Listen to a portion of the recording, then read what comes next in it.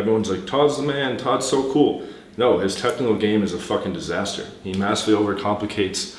I have lots of his students come to me after, they're like, hey, I didn't get any lays. I didn't get any results after spending a bunch of money with Todd. Okay, this is what I hear about most coaches in the scene.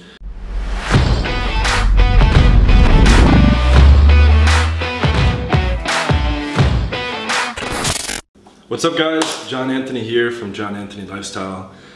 Today I want to talk about why cold reading is stupid. Okay? Many of you probably don't know what cold reading is, and we will cover that and talk about how coaches are advocating this technique and why it's so terrible and such a huge turnoff to women. Okay, but before we continue, please like and subscribe. Um, new videos every day at 2 p.m. Eastern Time. Turn on the notification bell to be alerted of those new videos. So, what is a cold read? A cold read is typically used as an opener, okay? And you go forward and, and say to a girl like, hey, you look like a Sarah. Hey, you look like you're from New Hampshire. Okay, it, it, it's like, they call it a cold read it's like, you're just like guessing something about the girl cold, okay, without her telling you anything about herself. This is tacky, cheesy, corny, stupid, okay, and girls fucking hate it. I've talked to lots of hot girls about this.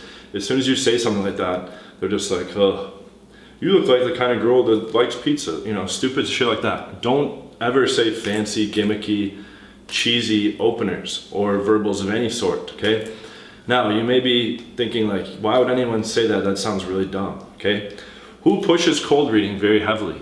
Todd V, okay? Todd V dating. I'm gonna make a whole video about all the different technical problems with his game. This is one of them, of many, many, many. Okay, everyone's like, Todd's the man, Todd's so cool. No, his technical game is a fucking disaster. He massively overcomplicates. I have lots of his students come to me after, they're like, hey, I didn't get any lays. I didn't get any results after spending a bunch of money with Todd. Okay, this is what I hear about most coaches in the scene. Okay, surgical pickup also pushes cold reading, okay, that, which is fucking stupid. It's very, very stupid. Attractive girls do not want you to say, you look like your favorite color is this. You look like your name is this. You look like you're from here or, that you like to do this or whatever. You look like the kind of girl that uh, blah, blah, blah. And the girl's always like, what do you mean? What are you talking about? Oh, I just get the impression that you like this. Ha ha ha, right? It's the same thing as, as walking up and saying like, oh, you look like my, my next ex-wife. Or It's just cheesy, tacky, cringe, stupid, okay? You don't want to open with stuff like that. The correct way to open is very simple. Okay, it's just to be direct and lower the lower the compliance threshold so that she doesn't feel like she's going to need to have to have a long conversation. Okay, so the correct way to open, the opener that I've been using for almost 10 years is just to say, hi, I wanted to meet you real quick. I'm John, what's your name? Okay, hi, I wanted to meet you, I'm John. What's your name? Oh, cool. Or I say, hi, can I meet you real quick? I'm John. But I always just say, I wanted to meet you or can I meet you? And then I say, I'm John, what's your name? Well, I want to meet you, what's your name? Oh, cool, I'm John. That's it, okay? You don't need to go in and say, you look like a Sarah, you look like you're from, uh, you know, California. It's just stupid, okay? You don't need to be uh, pretending to be a psychic when you go in, okay, and, and converse with a girl. They're gonna think that that's a pickup line they're gonna think that you're stupid and you're, you're just trying to sound cool. They're gonna think that it's tacky and cringe, okay? And speaking of tacky and cringe, that's most openers that I hear in the pickup community fall into that bucket, okay? Guys are either saying like canned routine things that are weird or they're, you know, I, I heard, I've heard all kinds of crazy stuff. Okay, I had a, a hot girlfriend in San Diego in 2015 and there was a student that came out of RSD free tour and when they're released on the streets on the masses. And I was like talking to guys getting clients and a guy came up to my girlfriend at the time and he's like you're looking at your socks. You must like socks. And she's like what? He's like do you like socks? You're looking at socks.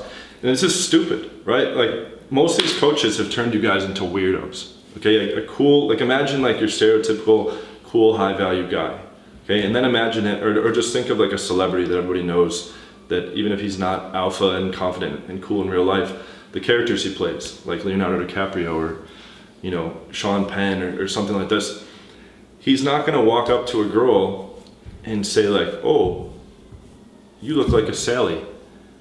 Or hey, uh, do you like socks? I see you looking at your socks.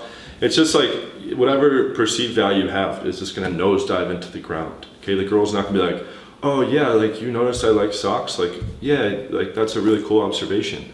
Oh, and you guessed my name was Sally. It's actually not Sally, but good guess, right?